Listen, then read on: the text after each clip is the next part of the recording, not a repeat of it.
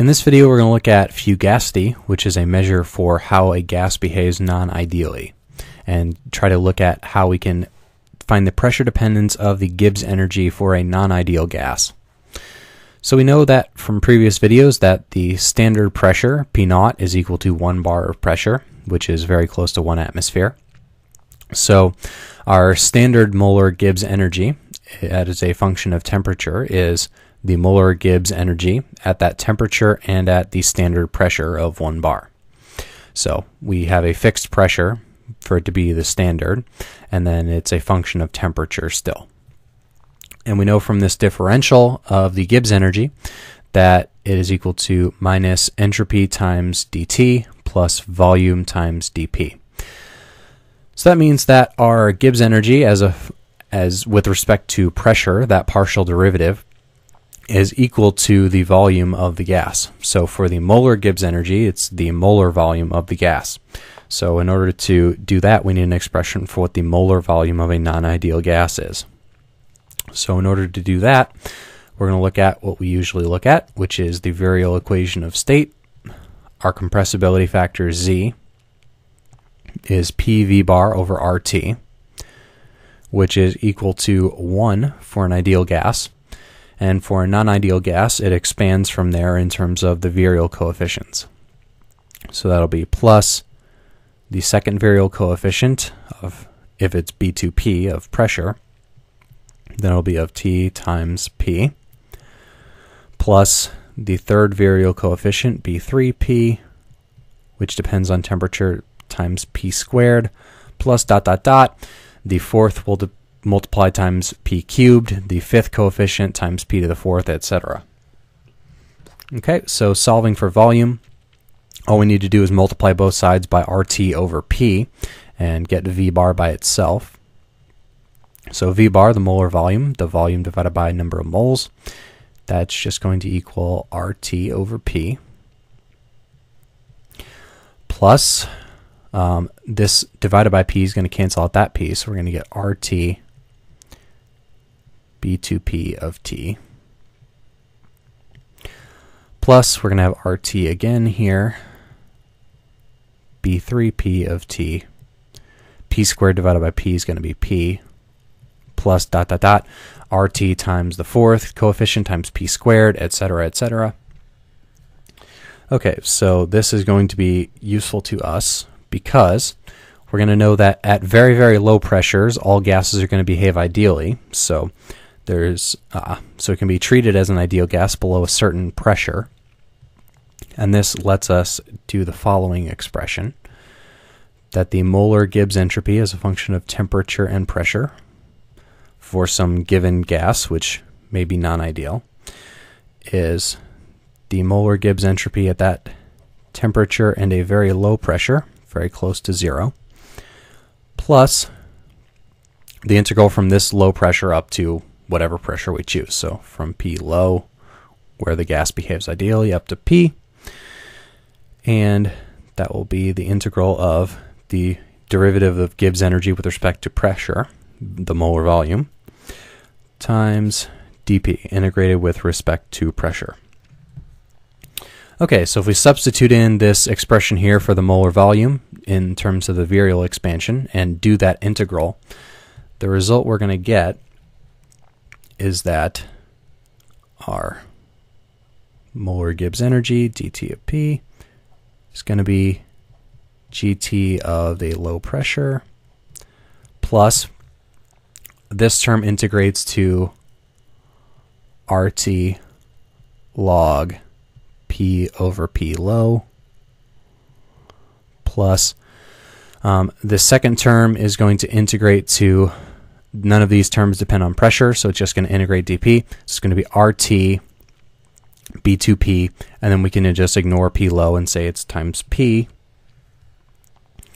So it's going to be RT, virial coefficient, times P, plus, do, do, do.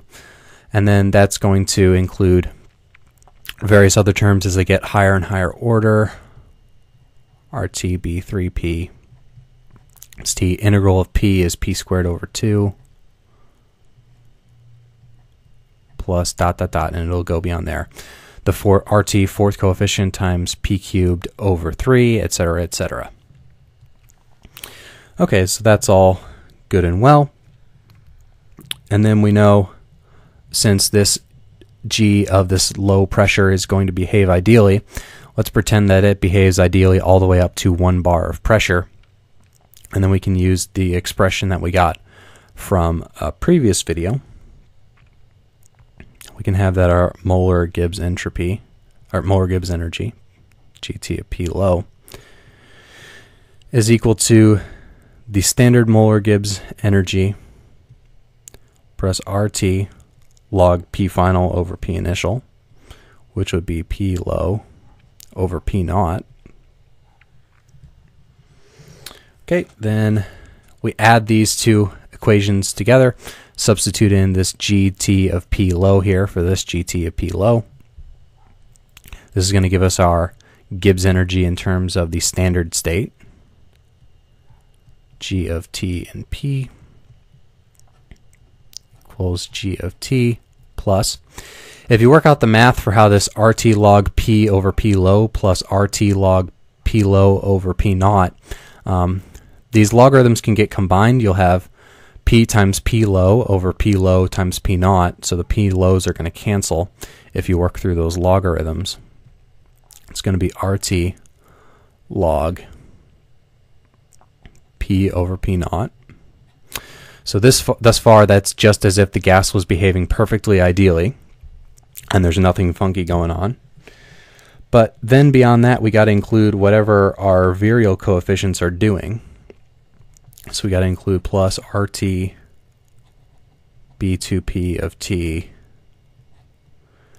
times pressure plus dot dot dot things that depend on P squared, P cubed, etc. So all of this is encapsulating all of the non ideal behavior, all of these terms beyond these first two terms here, where the gas is behaving ideally. Okay, so what we want to define is a quantity which will encapsulate all this non ideal behavior as if there was some hypothetical pressure which represented an ideal gas uh, behaving that way. So what we're going to define is a function f, which depends on temperature and pressure, and this is going to be called the fugacity. So the fugacity is going to be the function of pressure and temperature, and it's going to tell us about how the gas is behaving relative to some ideal gas. So we also need to define a standard state for fugacity, just like we define a standard state for uh, pressure. And we need it to be such that the limit, let's, let's just go ahead and write this as a limit.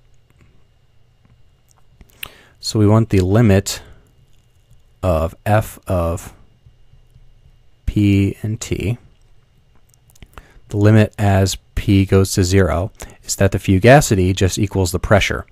Because as p goes to 0, the gas is going to behave ideally, and so the, the fugacity must become the pressure when the gas behaves ideally. The fugacity will only deviate when the gas behaves non-ideally. And additionally, we're going to define that the standard fugacity is also going to be 1 bar. It's going to be 1 bar just like the standard pressure is. So that'll help some things out as well. So we encapsulate all of the non-ideal behavior, all of these extra terms in here, by defining f of p and t to be the pressure times E to the B2P of T times pressure plus B3P of T times P squared plus dot dot dot on and on and on it goes. So what we've effectively done is taken this fugacity here and we've encapsulated all these extra terms in here. And if you work through the math of how this term works out and what it does for us, you'll find that it allows us to define our molar Gibbs energy as a function of temperature and pressure to be the standard Gibbs energy at that temperature plus RT log.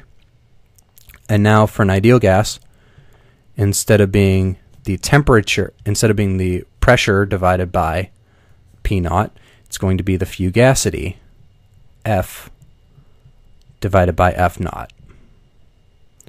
So the fugacity allows us to define our Gibbs energy, our molar Gibbs energy, just the same way we would define our molar Gibbs energy for some given ideal gas, but uh, instead of pressures, we use fugacities. So the fugacity is something which can be tabulated if all the virial coefficients are known, and there are various functions and tables of what these fugacities are. And that allows us a very straightforward way to calculate our molar Gibbs energy if, in fact, we know what these fugacities are.